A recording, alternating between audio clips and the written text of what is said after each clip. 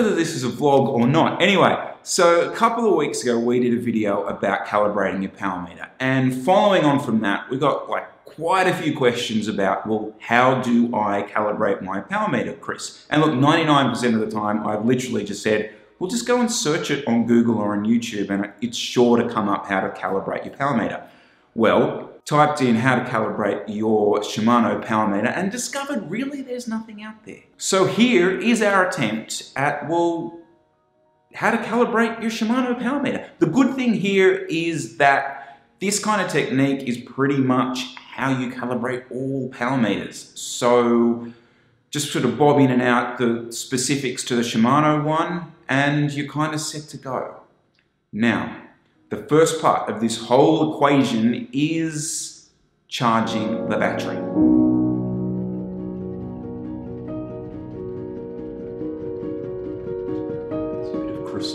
Anyway, um, one of the really cool features with the Shimano Power Meter is it is a rechargeable battery, so you're not taking in and out those kind of watch clock type batteries. Only thing really then you have to do is just make sure the thing is charged, which is surprisingly not that difficult. With the power meter comes this. I have no idea what we're calling this uh, particular plug, but it is the Shimano power meter plug and it is really simple to operate. Now, just as you come into the crankset itself, you will see a little door. You open the door, plonk him in, light goes blue. Now the light will stay blue while it is charging and when it is full, guess what? The light goes off. So blue is charging, light off, full. So if you want to check the battery level if you're out on the road or before you go out for a ride, really simple guys. There's a little button just on that door there and you press it for a second or two little green light comes up, which means there is 20% or more battery left. If you press that down and went red, it means that you got less than 20%. Probably a good time to charge it. As far as the battery goes, guys, that's pretty much it.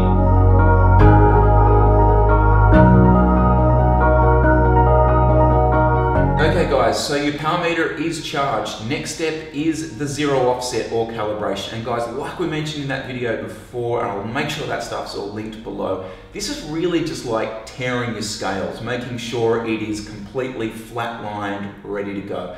The procedure is normally before every ride.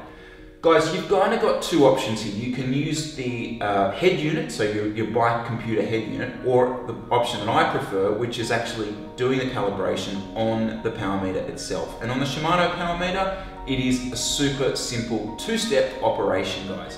So the first thing you want to do is just make sure your crank arm is down to six o'clock. Obviously you are not clipped in, you're off the bike at this point. So down at six o'clock, next thing you're gonna do is press the button that we use to check the battery level. And you're gonna hold it for a couple of seconds. So you're gonna press it, hold it, two, three, little blue light comes on, blue light goes off, and then hopefully you'll get five flashes, meaning your power meter is calibrated. If you don't get the five flashes, for example, if you get a red flash, what you might want to try and do is just disconnect and reconnect the adapter, try the procedure again. You also might want to actually charge the power meter a bit more. Sometimes if the power meter doesn't have enough battery charge, you won't get a proper calibration. And if it's not one of those, well then you need someone more experienced than me, probably someone at a bike shop and give that a try.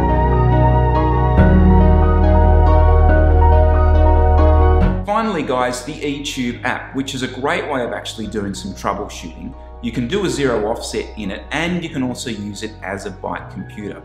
Let me quickly show you how to connect the power meter to the app. Downloaded the app and you'll get this screen straight off the bat. Now two things you need to just watch at this point. The first thing, that is the initial pass key. It is six zeros. Just remember that because you will be asked to enter that. The other thing you need to do is actually activate the power meter itself.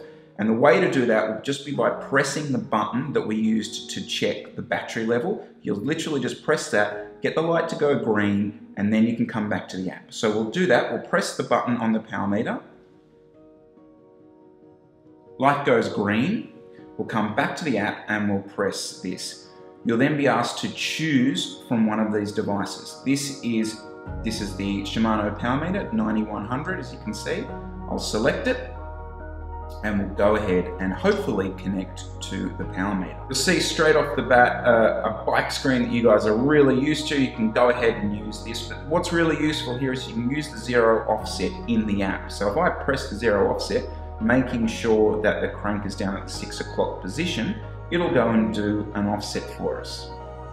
Another really useful part in the app is obviously you can see the power level, the battery level of the power meter up here, but also if I go up to the top right and choose this arrow button here, you can check your firmware. Now obviously this is really useful if there's an update available, but also if you're having problems with the unit itself, it can be useful to go into here and reinstall the firmware on the device. That'll often get rid of any bugs that might have actually happened in there.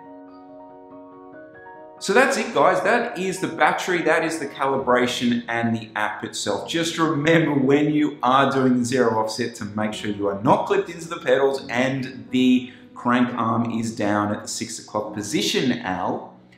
Uh, that's us done. As far as the performance goes, look, I will do a review on this particular power meter at some point in the future. Um, off the record, it just seems to work all the time, so I haven't got much to say just seems to work. That's good. Um, any questions? If you've got any other sort of questions about some of the kit that we're running, make sure you fire them at me and uh, we'll go from there. See you later, guys.